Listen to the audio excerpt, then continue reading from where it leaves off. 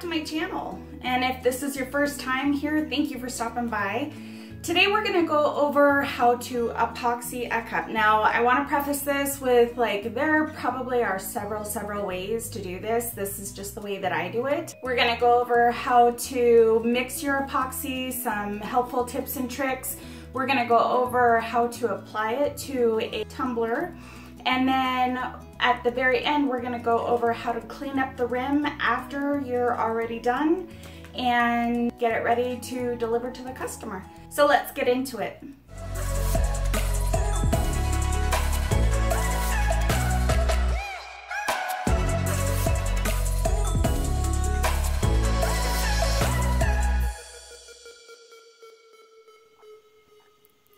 So I always start with marking my lines with a permanent marker.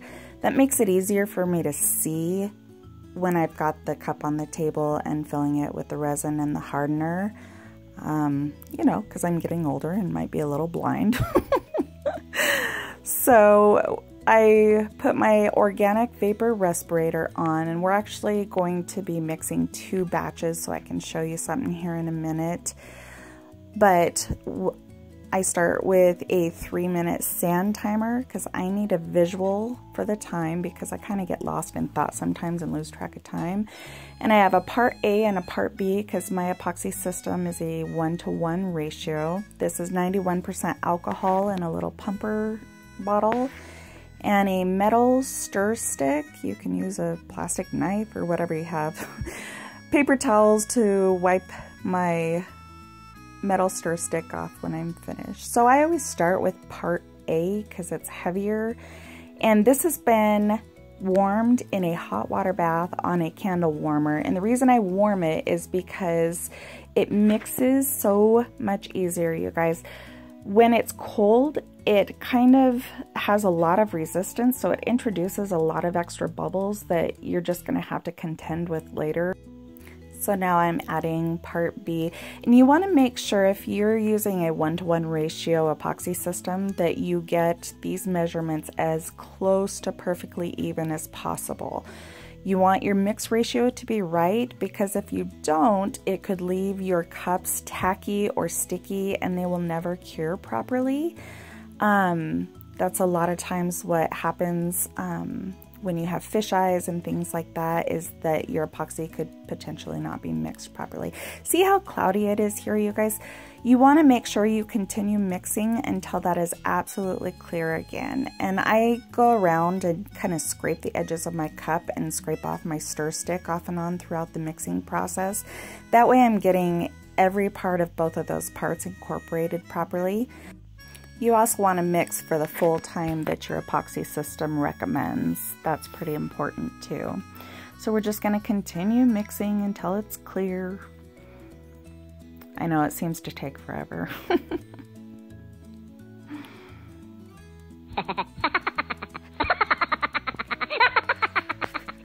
and then I just wipe off my stir stick when I'm done, get it ready for the next time.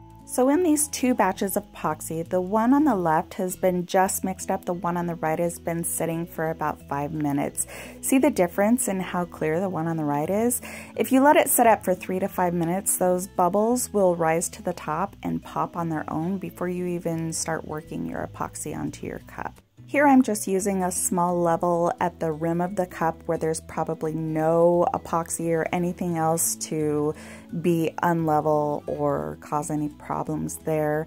And I just take a few minutes to make sure that that cup is completely level so that it's not pooling at one side or the other as that epoxy self levels and cures. That way you don't have to sand down any bubbles or bumpy bits or anything like that. And then I I like to have it spin into my hand. I just feel like I have a little more control over the epoxy. And I just dump a little at a time on and I am just barely guiding this epoxy. I'm not pushing down hard. And I have found when I do this, it kind of pushes out the bubbles as I'm going along. I hardly ever have any bubbles on my cup when I do it this way. I sealed this holographic vinyl with some polyacrylic before I got started.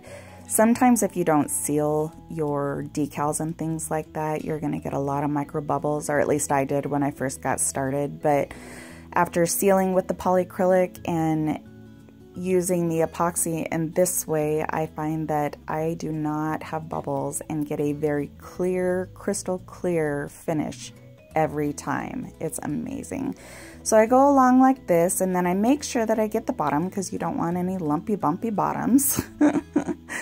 and then I actually kind of with the basket weave idea, I go from bottom to top and up and over that lip because I've already gone the other way and so now going this way I ensure that I get every single part of this cup and if you're doing it with a glove finger like this you'll be able to feel if there is any part of that cup that you have missed and I'm going slowly up and over the lip of that cup we've already sanded this cup and revealed just a small section of stainless steel so that that epoxy can seal properly to that stainless cup instead of the paint or anything else that might potentially come loose. So then I let it spin for about three to five minutes so that that epoxy can self-level. And then I come in with, I just have a kitchen torch that you would use for like creme brulee or something like that. Alternately, you can use a propane torch. Um, and I just pick a spot on my turner so it acts as a visual for me and I let it go around probably two two and a half times. And you're not going to hold your flame in any one spot for any length of time because you don't want to burn or scald your epoxy. This is just lightly going over it to help release any bubbles that might have gotten trapped kind of down a little bit. And then I'm gonna let this spin for 8 to 12 hours, or for like me, wound up turning overnight. So then I'm coming back in the next morning. And this, I have mixed up 15 milliliters of epoxy, as this is my final coat on this cup. And I just do the same thing. I'm going to slowly go side to side with this, or let it spin into my hand, you know.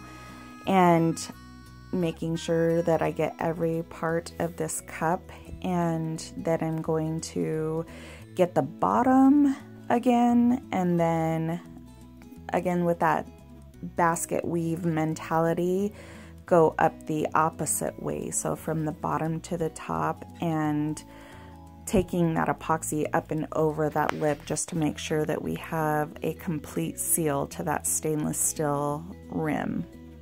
And then I'll show you how to clean up any parts that got up and over that. Let it spin three to five minutes to self-level and bring any bubbles to the top and then take the torch to it one more time.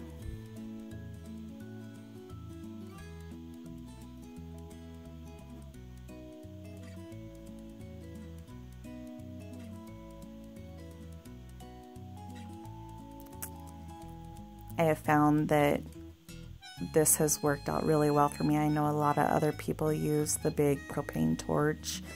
I just haven't, for me personally, found that it's been necessary since I started doing laying on my epoxy this way. So I forgot to press record when I was showing how to clean up the cup on that other one, so I figured I'd just show you on this one. This was a Milky Way, so I've got a lot of extra bits up on top here.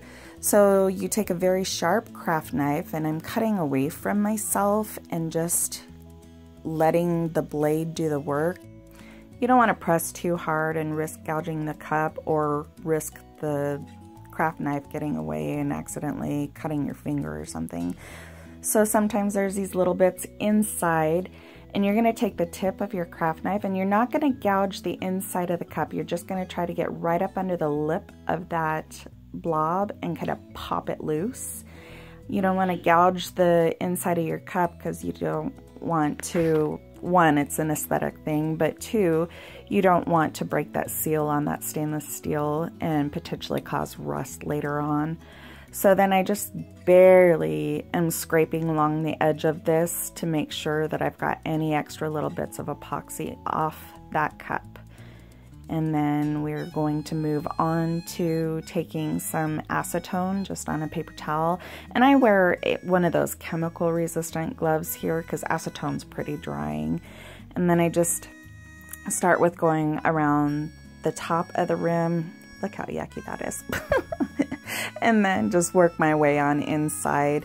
And sometimes you need to switch out paper towels. Um, sometimes when you get all done, there is a little haze on there that can't be wiped away with acetone. I'm not sure why, but I found that if you take a magic eraser dumped or dunked in acetone, it will take it right off. So I just concentrate here on this little lip, make sure that any parts that are kind of hanging out right there on that ledge that I get out.